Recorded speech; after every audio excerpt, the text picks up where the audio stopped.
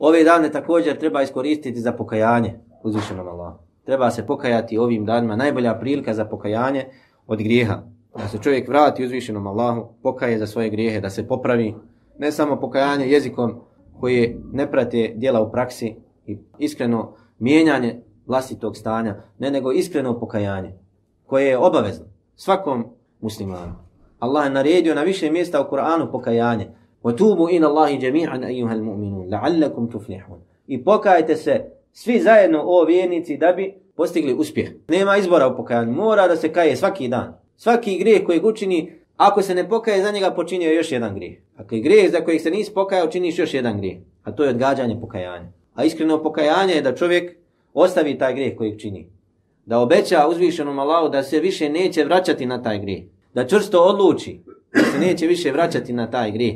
Da zamoli Allah da mu oprosti grijehe, Da mu oprosti taj grijeh. Ako je grijeh koji je učinio vezan za nečije pravo, nečiji hak, od nekog je ukrao, nekog je zakinuo, nekom je učinio nepravdu, da vrati hak toj osobi. Inače, Allah će ti oprosti grijeh između tebe i njega, ali grijeh, grijesi između robova, nepravda koju ljudi učine jedni drugima, to Allah subhanahu wa ta'ala prepušta njima.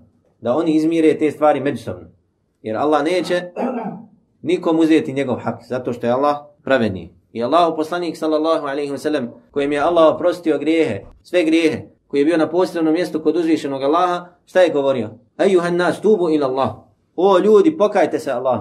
Fa inni wallahi atubu ila Allahi fi kulli jevm mi'ete marra.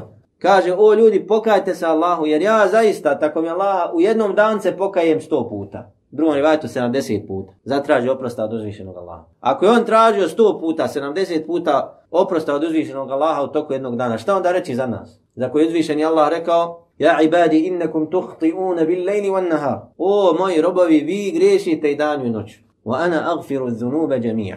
A ja praštam sve grijehe. Fastaghfiruni aghfir lakum. Zato zatražite od mene oprosta, ja ću vam oprostiti. I nema to grijeha koliko god da je velik, da ga uzvišeni Allah neće oprostiti robu ako se iskreno pokaje. Ako se iskreno pokaje. Ali je problem što ljudi nisu spremni za pokajanje. Čini grijeh i nije spreman da se promijeni. Nije spreman da ga ostavi. Svjestan je da čini grijeh i nije spreman da ga ostavi. E tu je problem. Tu je glavni problem. A čovjek počinio grijeh. Ne znam koliko velik da je grijeh. I iskreno se pokaje uzvišeno Allah, Allah će mu oprostiti počinio zinalu, ukrao, ubio nekog nepravdu, pokajao se uzvišenom Allahu, opsovao Allaha, učinio nepravdu svojim roditeljima, učine nekom nepravdu. Ako se iskreno pokaje vrati Allahu, može postati od najboljih vjernika. Jer vrata Allahu pokajanja nikada se ne zatvaraju. Sve dok ne izađe sunce sa zapada. Ili dok čovjeku ne dođe duša do grkla. Krene duša da izlazi iz tijela, onda više nema pokajanja. Ali dok, dok je svjestan, dok ima mogućnost da se pokaje, uzvišeni Allah će mu primiti e, pokajanje.